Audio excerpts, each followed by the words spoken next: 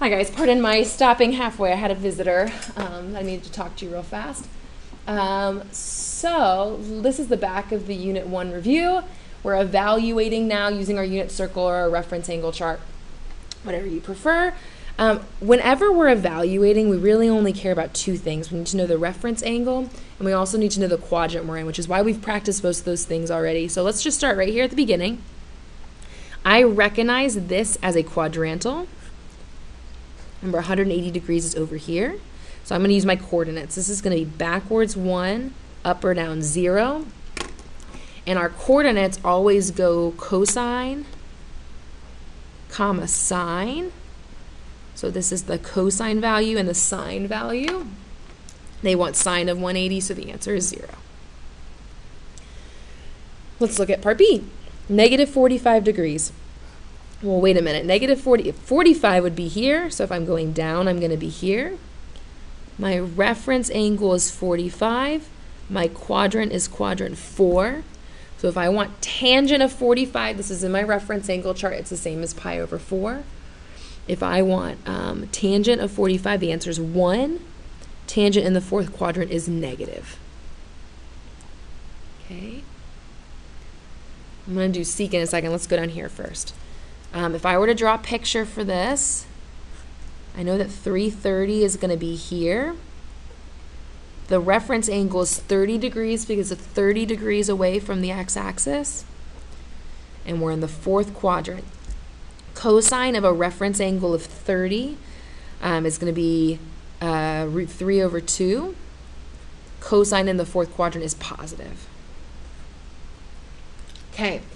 Secant is the reciprocal. We're going to jump here now. Secant's the reciprocal of cosine. So I'm going to actually evaluate it for cosine and then I'll take the reciprocal. So this is a quadrantal. It's here. And my coordinate is over 0, upper, sorry, over 1, positive 1, up or down 0. So this is my cosine. This is my sine. So I know that cosine of 0 is equal to 1 Secant of 0 is just the reciprocal of cosine. So my final answer is just 1 divided by 1, which is 1. Okay, let's move on. Here I have sine of 5 pi over 6. My reference angle is pi over 6. My quadrant, well, notice the numerator is 1 less than the denominator, so that puts me in quadrant 2. Sine of pi over 6 is 1 half. Sine in the second quadrant is positive. Okay. Here my reference angle again is pi over 4. Um, my quadrant is quadrant 2 because my numerator is 1 less than my denominator. Cosine of pi over 4 is root 2 over 2. Cosine in the second quadrant is negative. You might be thinking, how do I know my quadrants so fast? Remember, it's my all students take calculus. In the first quadrant, I'll make a little note up here. All trig functions are positive. Here, sine is positive. Here, tangent is positive. Here, cosine is positive. That's where all students take calculus. That phrase comes from. Okay? Let's look at G. My reference angle, again, is pi over 4. My quadrant is now quadrant 3 because my numerator is 1 more than my denominator. Tangent of pi over 4 is 1. Um, tangent in quadrant 3 is positive. Okay, H. My reference angle is pi over 3. If I were to draw a quick picture for this, remember my um, pi over 3 would be in the first quadrant, but it's negative, so it's going to be in quadrant 4. Sine of pi over 3 is root 3 over 2. Sine in the fourth quadrant is negative. Okay. Cosine, oh sorry, pi over 6. My reference angle is pi over 6. I'm going to be in quad um, because this is negative. Instead of going up for pi over 6, I'm going down pi over 6.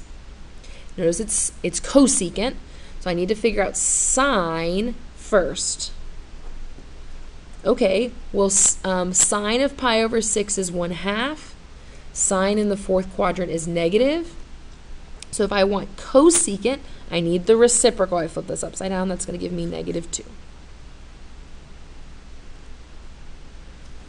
Okay, cotangent's the reciprocal of tangent. So now I'm going to be doing the same process for tangent first. So I need my, my reference angle is pi over 4. I'm in the second quadrant because 3 is 1 less than 4. Okay, tangent of 3 pi over 4. Well, tangent of pi over 4 is 1. Tangent in the second quadrant is negative. If I want cotangent, I need 1 divided by this. So my final answer will also be negative 1 because 1 divided by negative 1 is still negative 1. Okay, this is a quadrantal. 3 pi over 2 is down here. That's over 0 down 1. Remember we have cosine comma sine. So sine of 3 pi over 2 is negative 1. Its reciprocal is also negative 1. Okay, last one here. My reference angle is pi over 3. Okay, this is double minus 1, so this would go in the fourth quadrant, but instead of going for this direction, we're actually going to go 1, 2, 3, 4 this direction. So this is going to be in quadrant 1. Secant is the reciprocal of cosine. Sine of pi over 3 is 1 half. I feel like I messed it up somewhere else. Sorry, guys. So cosine of pi over 3 is 1 half. It's positive in the first quadrant, but I want the reciprocal. I'm going to flip this upside down, so the final answer for that is going to be 2. Finally, on to another section. Okay, we're going to convert from radians to degrees or degrees to radians. Here's my trick. If I'm in radians, I need to get rid of the pi, so I'm going to divide by pi. Pi and 180 are, are equivalents just in different units, so pi pi um, radians is the same as 180 degrees, so that's why we can use this as a conversion. If I'm in degrees, to get to radians, I need a pi, but I'll divide by 180. So, in these problems, we're starting with degrees both times. So we want to get 135 into radians, so I'm going to multiply by pi, divide by 180. Remember, this is the same as that over 1.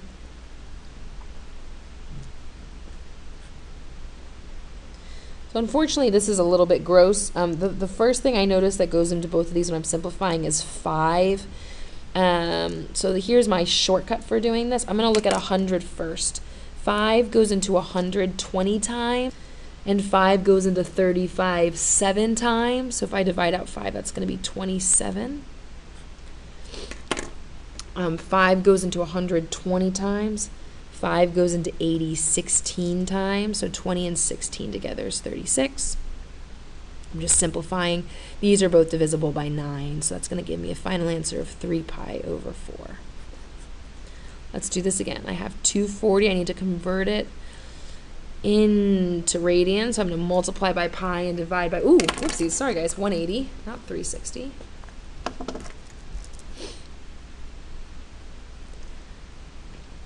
That'll give me 240 over 180. Notice they both have a, a 10 I can divide by, and they're both also divisible by 6. This goes into, or 6 goes into that 4 times, 6 goes into this 3 times.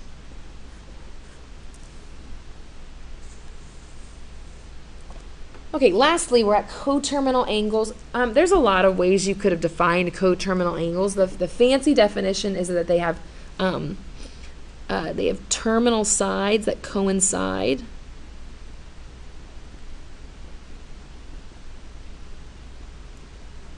Um, but but the, the formula or the way to think about it is we're going to add or subtract 2 pi or 360 degrees. Essentially, they're separated by a full circle. So here's what we mean by terminal sides that coincide. If I have an angle, so remember that the initial side's always here, the terminal side might be here. To get to my coterminal angle, my, um, my terminal side is going to rotate a full time around to get back to this point. So for instance, if this is 60 degrees, if I go around a full 360, that's going to get me to 420 degrees. These two angles have the same like terminal side. It's both going to they're both going to get this terminal side to this point. Um, so, so coterminal angles, co means together. Um, they're just separated by at least one full circle around. So I need to add or subtract 2 pi in both of these cases. So I'm going to do 2 pi over 3 plus 2 pi, and I'm going to do 2 pi over 3 minus 2 pi. Well, notice if I add 2 pi, I don't have a common denominator. So I need to, to multiply this by 3 over 3. When I do this, this is going to become 6 pi, and when I do this, this is going to become 3. So if I add 6 pi over 3, I add 2 pi, that will get me to 8 pi over 3. And if I subtract 6 pi over 3, that will give me to a negative 4 pi over 3. So here is my positive and negative coterminal angle. Let's do the same thing over here. I'm at negative 3 pi over 2, but I'm going to add 2 pi. Well, notice right now I don't have a common denominator, so I'm going to multiply by 2 over 2. Okay? If I add that, that's going to give me pi over 2. If I subtract 4 pi over 2, which again is just 2 pi, that's going to get me to negative 7 pi over 2. So those are my two coterminal angles, one positive, one negative. Okay, there's the end of our um, Unit 1 review. Hope you guys found that helpful.